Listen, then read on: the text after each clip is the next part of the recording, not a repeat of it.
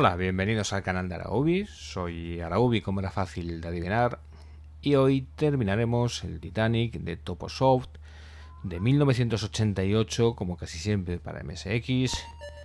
Y estamos ante una de mis debilidades de la época, pese a ser un por Spectrum. Y pese a que el juego pues tampoco es que podamos conseguir una verdadera maravilla técnica o jugable y tal.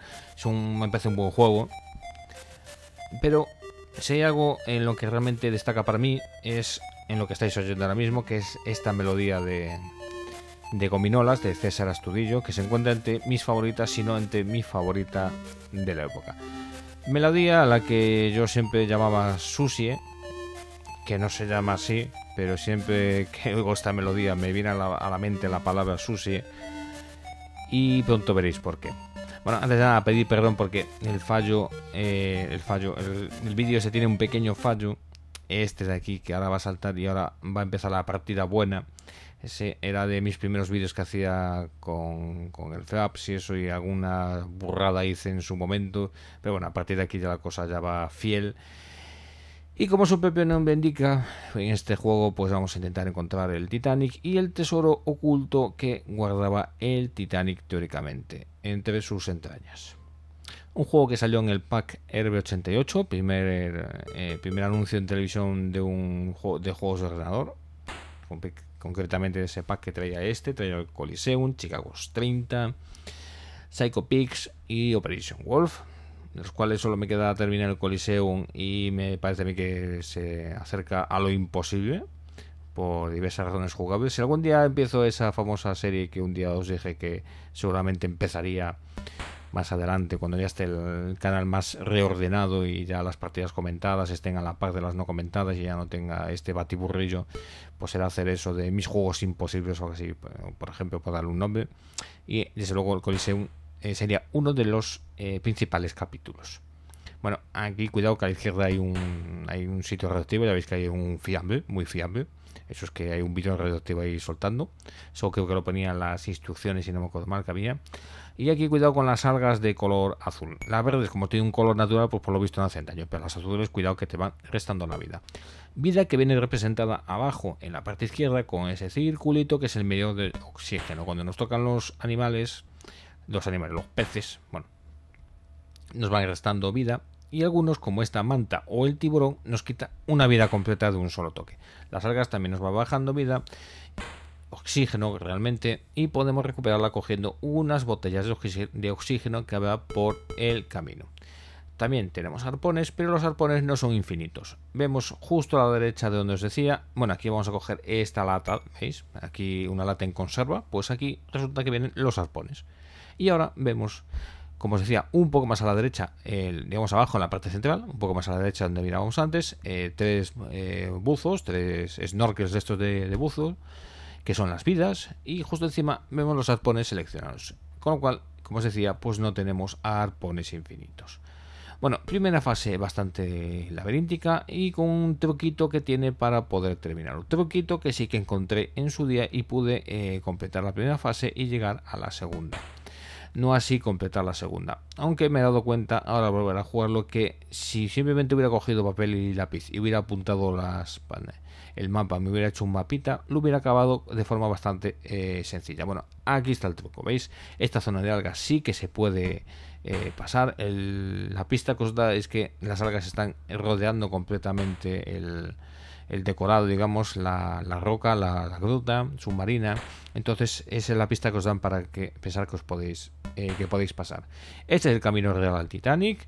Aquí ya estamos a punto de llegar. Es una fase muy, muy, muy rápida, o sea, muy, muy cortita. Eh, cuando ya conocéis el camino, muy facilito, muy facilito. El segundo ya hay que dar más vueltas, pero bueno, pasamos la primera, nos dan la clave que es Susie. De ahí a lo que os contaba antes de que yo asociaba el nombre de Susie a la, Susie a la melodía inicial. Bueno, sin más dilación cargamos la segunda fase, repetimos eh, carga, repetimos pantalla de carga con esa carátula de Aspiri. Aquí ya veis que la cosa ya va un poquito más animada, la música, me sigue encantando igualmente. Y vamos a seguir con este programa, como pone aquí de Emilio Martínez y gráficos de Ricardo Cancho, todo un team de, con combinados a la música, repito, todo un Dream Team de Toposoft. Y aquí ya dentro del Titanic pues tendremos que ir a por el tesoro en sí que estará dentro de una caja fuerte, por lo tanto necesitamos dinamita para hacerla volar. Bueno, eh, como decía, por Spectrum no hacía falta ni decirlo, está claro ese color que le delata, esos fondos no monocromados, pero bueno, tiene un colorido yo creo que agradable, a mí me parece bastante agradable la vista. Aquí quizás se confunda un poco con tanto decorado, con sobre todo cuando vas por aquí, tu zona, o sea, tu buceador negro, que ya veis que ahora es negro, el hombre se ha cambiado de... Y más que nada porque en la primera parte el fondo era negro y ahí sí que vamos a tener difíciles, pero bueno, los tiburones también se mimetizan con nosotros y también cambian de color. Y con este barco también ambientado, por cierto, como decía, me, me gusta mucho cómo está ambientado personalmente. Ya digo, siempre dejándolo en, dejando dicho lo de que es un port, entonces estamos ante una serie de limitaciones y hay que entender que dentro de lo que es un port, pues mira, pues no está la cosa mal se mueve con bastante soltura, ya veis que pega unas vueltecillas ahí cada vez que giráis, eso tenéis que tenerlo en cuenta, las vueltas que os pega el, hombre, sobre todo cuando tengáis un animal de los verdaderamente peligrosos cerca, porque en uno de estos giros puede ser que te des de bruces contra él. Como digo, hay que tener muy en cuenta cómo gira. Por lo demás, la mecánica del juego es exactamente igual que en la, que en la primera fase. Los iconos son los mismos, la lata de conservas te da arpones. Eh, la bombona de oxígeno de oxígeno, como está de aquí abajo. Me la voy a coger porque a la vuelta aún tengo otra, así que ya cojo una.